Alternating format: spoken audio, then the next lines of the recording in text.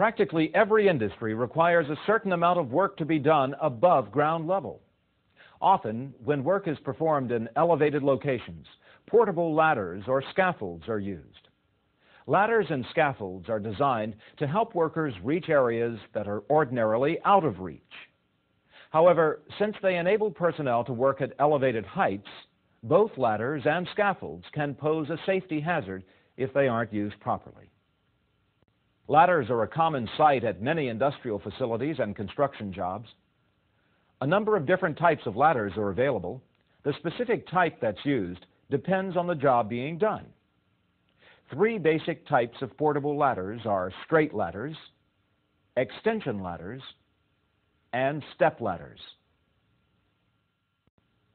A straight ladder is the simplest of the three basic types of ladders. It consists of two rails with crosspieces called rungs between them. The rungs are used as steps to climb the ladder. At the bottom of the rails are safety feet, which help prevent the ladder from slipping when it's in use. An extension ladder is basically an assembly of two overlapping straight ladders. The amount of overlap between the two sections can be adjusted to change the overall length of the ladder to match the needs of a particular job.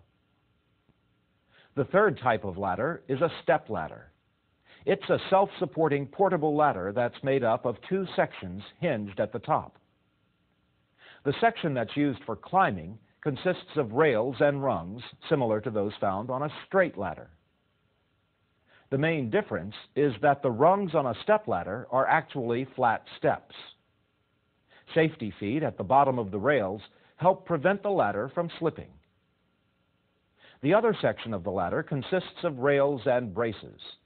The braces are designed to support the rails. They should never be used for climbing. Hinged arms, called spreaders, located between the two sections, stabilize the ladder and prevent it from folding up while it's being used. When a stepladder is properly positioned, a stable triangular shape is formed. Besides being available in different materials, ladders also vary in size and load-bearing capabilities. A standard rating system is used as the basis for dimensions and weight limits. The rating system classifies all portable ladders into one of four basic categories or types. One category is type 1A. Ladders in this category have a maximum load-bearing capacity of 300 pounds. Type 1A ladders are suitable for extra heavy-duty applications, such as those found in industry, utilities, contracting, and so forth. The second category is Type 1. Type 1 ladders have a maximum load-bearing capacity of 250 pounds. Ladders in the Type 1 category are used in heavy-duty applications, similar to those for which Type 1A ladders are used. The third category is Type 2.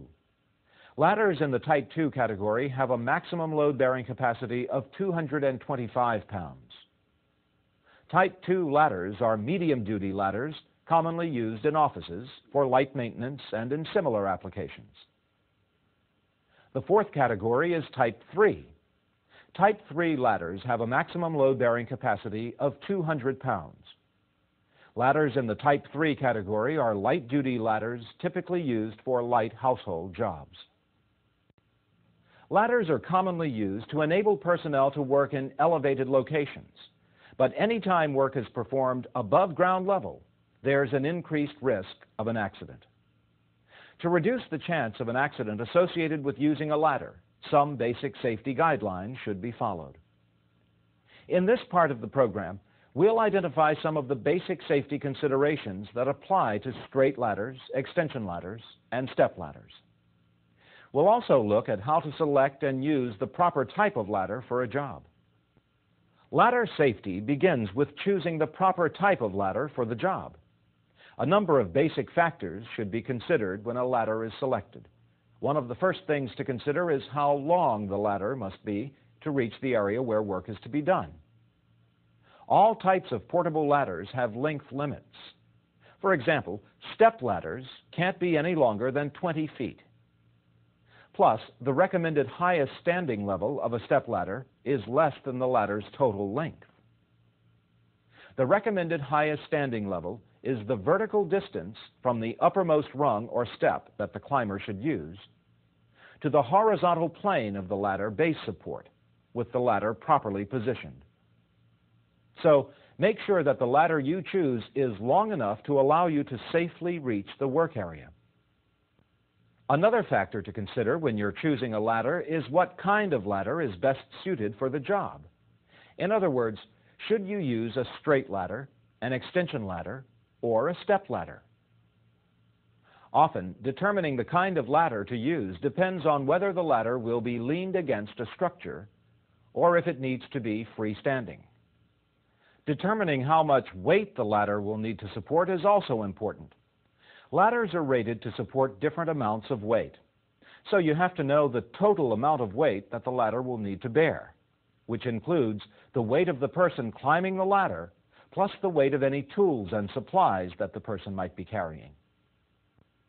The material that the ladder is made of must also be taken into consideration when a ladder is selected. For example, metal ladders aren't suitable for jobs near electrical lines. Fiberglass or wood ladders are a better choice since fiberglass and dry wood won't conduct electricity. Once a suitable ladder has been selected, it can be inspected and put to use. To get a better understanding of how a ladder should be used, we'll watch a worker use an extension ladder to reach a work area near a building's roof. Many of the basic guidelines that apply to using an extension ladder are the same as those that apply to a straight ladder.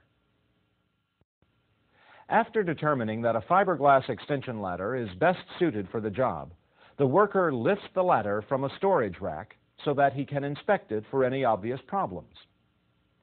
He checks the ladder's rungs and rails, and he makes sure that the rope that's used to raise the movable section isn't worn or frayed. He also checks the rung locks to make sure that they're working correctly, and he verifies that the safety feet are in good shape. After he finishes the inspection, he carries the ladder to the work area. Along the way, he's careful not to hit anyone or anything with the ladder. Ladders can be heavy and awkward to carry. Sometimes it's necessary to get help carrying them. As the worker positions the ladder at the job site, he makes sure that the feet are securely set and that the narrow section of the ladder is at the top. He adjusts the length of the ladder from the bottom, where he can clearly see the rung locks. One of the most important rules to remember when you're using a straight ladder or an extension ladder is to maintain the correct ladder angle.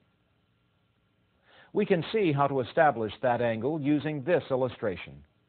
When a ladder is placed against a wall or other support structure, the distance between the wall and the base of the ladder should be one-fourth the working length of the ladder.